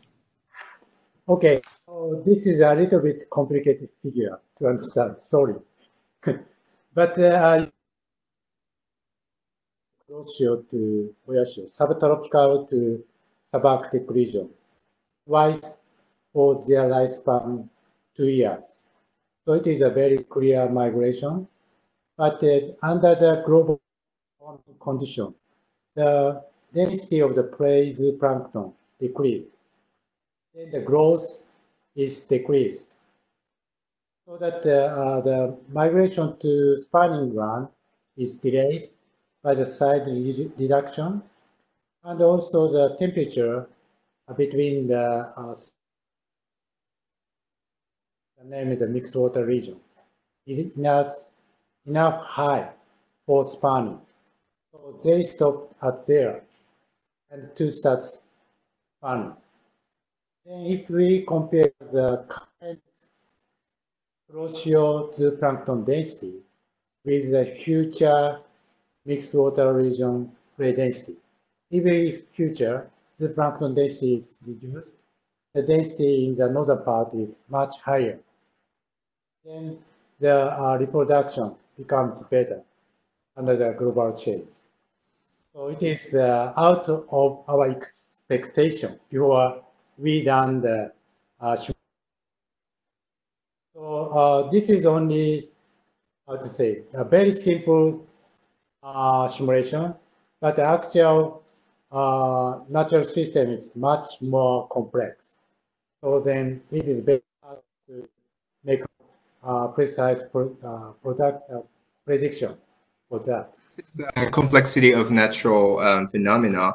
Uh, so that the uh, still well um, uh, in terms of the mechanism um, not everything is clear yet but from from your research knowledge well what what is the most influential um, uh, factors uh, among from uh, less nutrients or um, the oxygenation or um, ocean acidification? What, what, what do you think is the most influential one? Or, or, or, or in other words, well, it's not necessarily, well, um, uh, say, well, what, what's, what's the, the worst thing, but uh, maybe this is a matter of combination.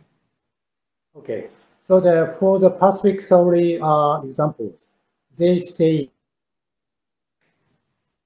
oxygen is a no matter. But for other species, the combination of the oxygen decrease and acidification and temperature is very important. And many species now the higher latitude, but the acidification effect is much severe in higher latitude the combination of the temperature and the acidification to shrink uh, uh, their habitat areas. That is the issue. That's uh, your your um, um, the three different maps uh, with different colors. Well, that that ex, um, explains it very uh, well, even to um, uh, to non scientists like us. okay, well, Professor Bindoff, well, would you would you like to say something? I would like to say something. Um, the the pictures that uh, Shinichi Ichi uh, just showed uh, for oxygen and temperature also feed into uh, maximum uh, uh, maximum uh, sustainable yields for the fishing more generally. And there are some additional figures actually that follow from those figures that Shinichiro just showed, which shows the maximum fish fisheries catch potential um, in 2100 and for a high emissions and a low emission scenario. And the scenario that was just painted by Shinichi of uh, the expanding uh, species moving towards high latitudes is precisely what is projected uh, in that in those future uh, changes. And that's slide 16 out of the presentation I had.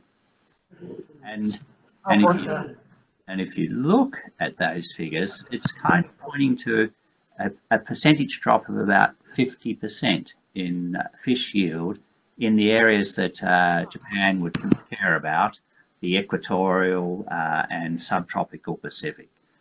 Um, there's a tendency to increase yield in the Arctic and uh, high latitude Southern Ocean. So these are, this is an important kind of consequence of the warming ocean. Thank you very much for your additional point. Um, that's that's very uh, interesting um, um, to to speak. Um, now uh, we have we have nice uh, uh, introductions of uh, and then uh, already, well, um, Professor Dr. Bindoff kicked off um, our interactive session. So um, now, um, Professor, it's interesting to have questions or comments from panelists to other panelists or speakers. Um, if there's any points you want to raise, well, we're happy to take um, them. Um, so I would like to open the floor um, here for your for your comments, questions, or comments to other um, speakers and panelists.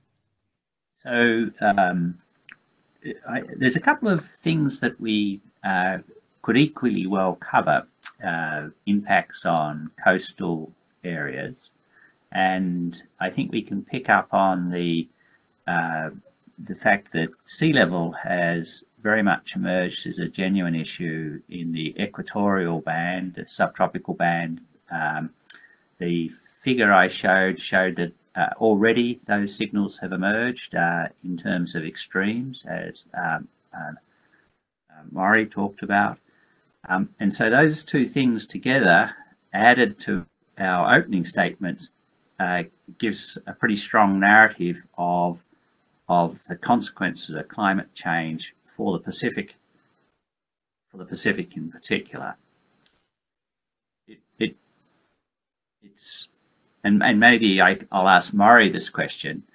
So the the perhaps the biggest contributor to sea level rise is now the ice sheets. Do you want to talk to that, perhaps?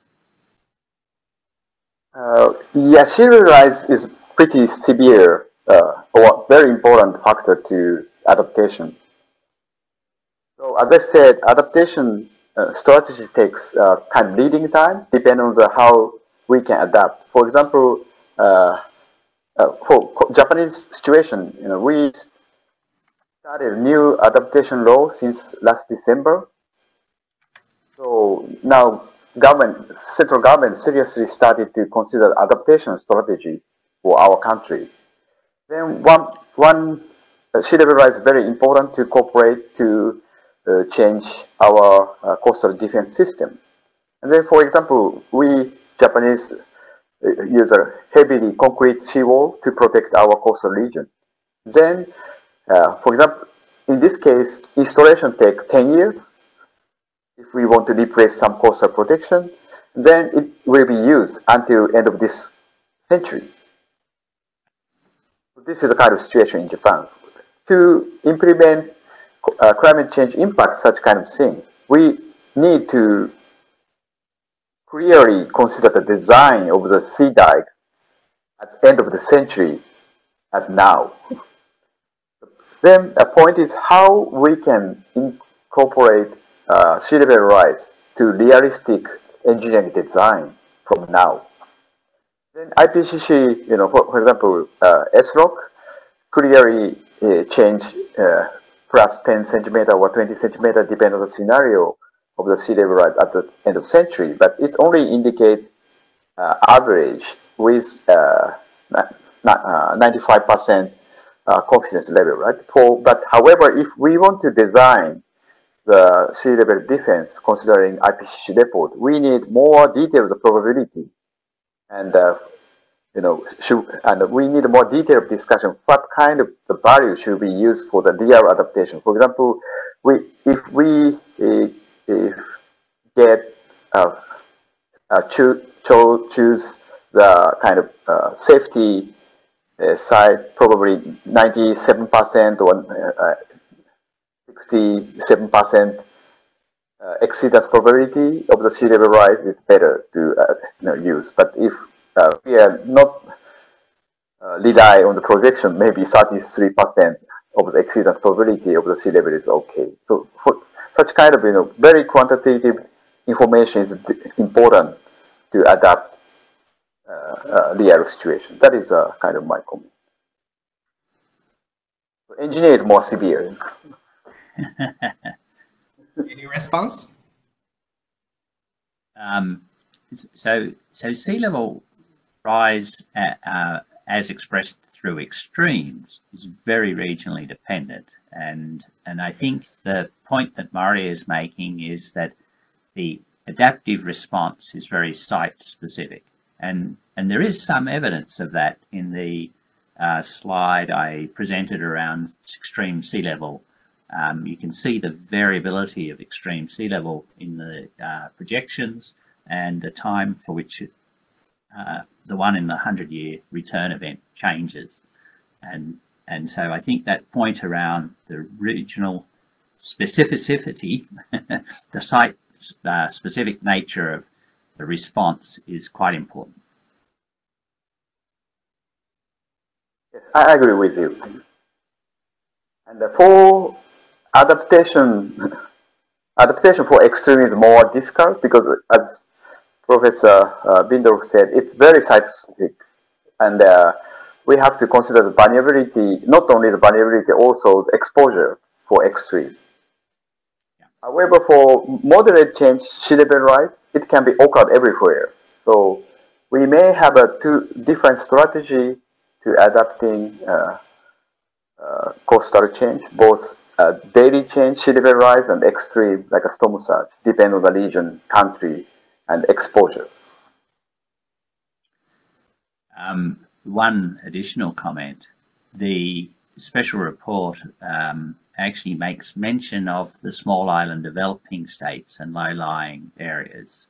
So while not in Japan, they are very relevant to Japanese foreign policy because they are under threat themselves. So, you know, that's uh, 65 million. Most of those small island developing states are in the western side of the Pacific. So that's something to be very mindful of. Um, some of those islands will disappear in this coming century, and the report actually says that for a first time. That's that's uh, um, well, there are um, well as as you discussed already. Well, the uh, well we need to be aware about the very long time span of um, changing climate and the ocean environment. And then, uh, as uh, Mori Sensei already um, pointed out, the um, accuracy uh, or the well the uh, determination of uh, uh, probability or predictability, but that still we we have we're in um, what to say uh, we, we're more we have more to go. So I think that's that's uh, a big challenge, but also we, we really rely on uh, uh, your your great research um, activities, and I hope well this uh, uh, WebEx meeting well this is going to be open for um, policymakers and other audiences, so that the well we you probably well this this has come to be a very strong message from from your community and towards for the uh, the community will, who should support for the um, science um, activities. That's um, you for the we we talked about you talked about the something like a slow onset event, but also extreme events for this year and last year in Japan. We have suffered we have suffered for so many and so intensive typhoons and then lots of like a large scale um, um, cut, uh, number of casualty or large scale damage um, actually happened. And then uh, one of the more recent damage we have, like we had to cancel um, our Yokohama meeting so that the, some people actually uh, traveled already to Japan. Some others will had to cancel um, flying. So that that's uh, tropical cyclone um, Hagib, Hagibis. And then um, is that, well, should, should we say, well, um, this kind of phenomena is far more increasing uh, in the future world? Um, it can be, but it's a little bit difficult to say in, uh, quantitatively. You know. Now we started to uh, estimate how much already occurred uh, global warming contributed uh, the last typhoon Hagibis. So we can say something quantitatively in the next few months. The fifth assessment report, um, uh, especially with typhoons, was um, quite uncertain. But I agree that there have been developments, uh, and Mori is referring to um, the simulations of typhoons uh, and cyclones versus the observations. And there's a, a, measure or an index called fractional attributable risk, and we'll find that the, typically the risk has gone up, but the frequency of uh, typhoons is not likely to go up. So we're expecting intensification of typhoons, cyclones, uh, but not an increase in the frequency of them. And I think that is the scientific consensus currently. I, I agree with it. Uh, I, I how about moving from, sorry, how about moving from disaster to the more bio marine science? Yeah, I, I, um, so, so I think there, uh, we, not the chapter I was in, but uh, there is a very particular chapter that talks about uh, extremes, marine heat waves, for instance. Marine heat waves are, are recognized scientifically as new, but they've always existed, of course. Um, the marine heat waves are doubling in uh, amplitude, doubling in uh, uh, frequency. They're driven by climate change. The interesting thing about marine heat waves is that they're uninteresting at one level, but they're actually very interesting on their impacts on ecosystems. So there are documented cases of uh, the large-scale kelps, uh, for instance, an important source of food and also for carbon, some carbon sequestration. Uh, they are um, frequently, depending on where they are in their range, very affected by uh, marine heat waves.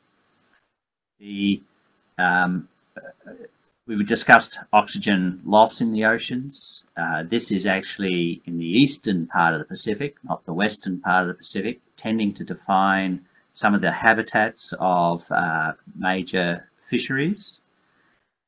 In the report, in the current report, we talked about the fact that the ocean is getting lighter at the surface of the ocean, and so it's actually getting harder for nutrients to come up and harder for oxygen to go down into the interior of the ocean.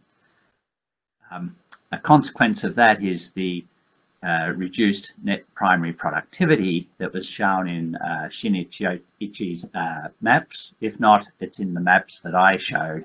I think it's in one of the maps I showed uh, going into the future. I, I, you know, we have relatively little time, but the thing that I think is especially important is it's not any one issue. It's actually all of the issues together, right? So uh, the Pacific is a long way from the poles, but Antarctica and Greenland are melting. Sea level's definitely going up. Sea level is driven uh, more than 50% by the melt of Antarctica and Greenland, a long way away from the Pacific, but a huge contributor to uh, sea level.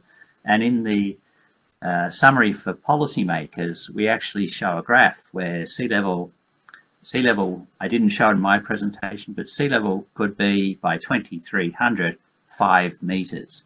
Now, five meters is because of uh, uh, mass loss um, from Antarctica and Greenland. So, so there are uh, growing hazards in the sea level, food security. The Pacific is uh, got less fish in it. Um, that's a threat, 4% decline in food security. So there's it's all of these hazards together that I think are um, a danger in in a world where we continue to have high emissions. Thank you very much. Ito Sensei, would you would you like to um, also you you sent us an actually a comment. So um, perhaps well, it's it's nice if we have your comments. Uh, it is regarding uh, uh, related to the adaptation issues, but the scale of the typhoon prediction is now going down because of the background humidities. So now the background humidity is increasing by uh, global change. Yeah. So the energy input becomes much more unstable comparing with uh, 10 years ago. So now the model is uh, improved, but the skill for prediction of the typhoon route or intensity change was becoming going down. It is a big issue for us. Thank you very much.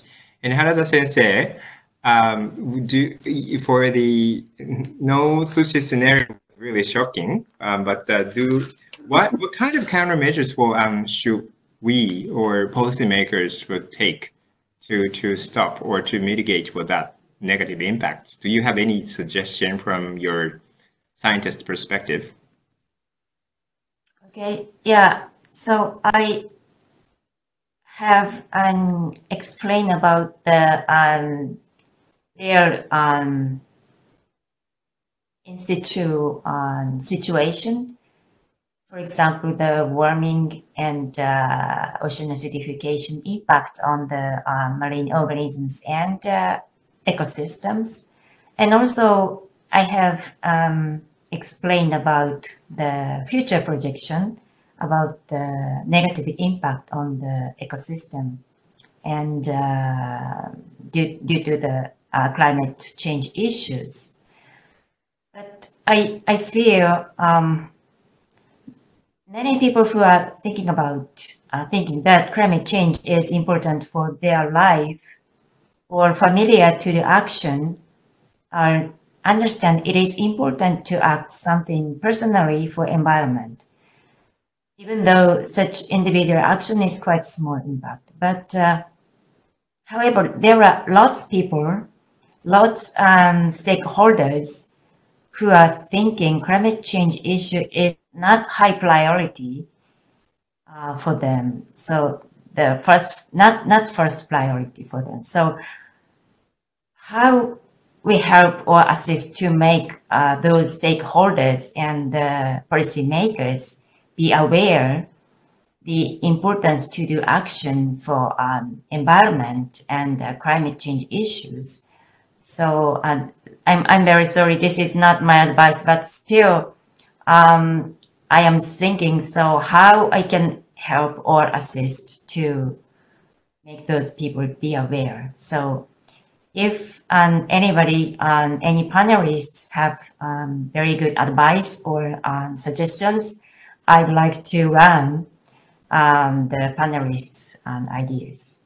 Yeah, the panelists is if if you have any response for or uh, maybe what you if you want to send out signal or messages to to the audience, um, um, I would appreciate if you could have very short um, elaboration on this matter.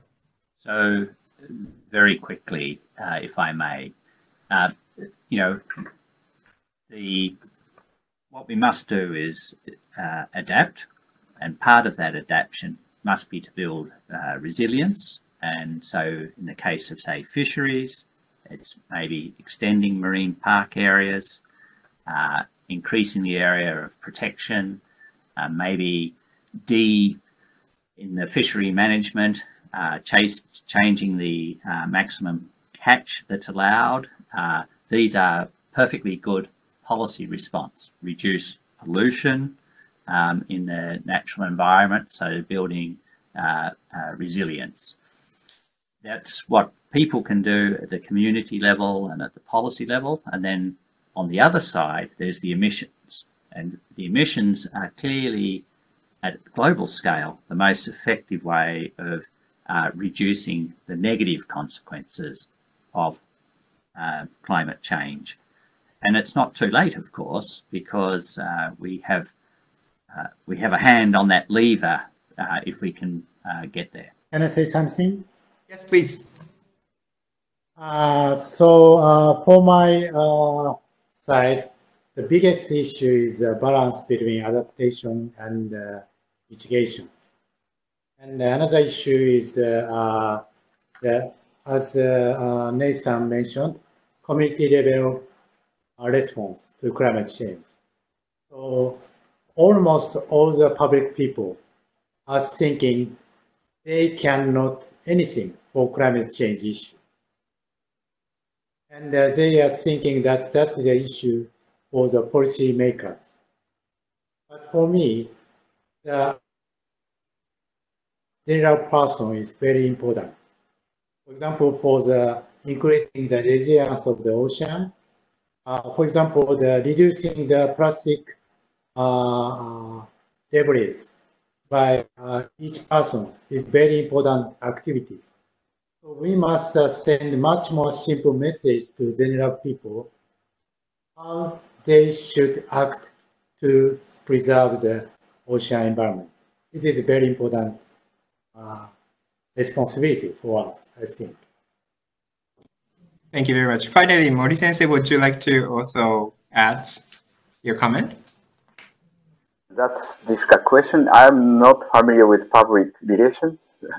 At least, in my point of view, at least we have to discuss with bureau people more deeply. Because, uh, uh, you know, uh, we, we want to input more science knowledge, especially for the adaptation to the uh, Central Bureau. Or uh, uh, any kind of ADB or JICA or other kind of Australian aid or some kind of stuff. Because uh, generally adaptation takes a, cost and uh, time and the mitigation also uh, expensive. So we have we, we cannot figure out uh, what kind of combination is best for us. At least from adaptation or impact assessment side we have to uh, you know say something you know how expensive adaptation is or what kind of adaptation we have. Then uh, maybe more big people like a professor Bindoff can discuss, you know, what the best mix of the adaptation and uh, uh, mitigation. Thank you very much. Um, it's a it's a daunting uh, challenge.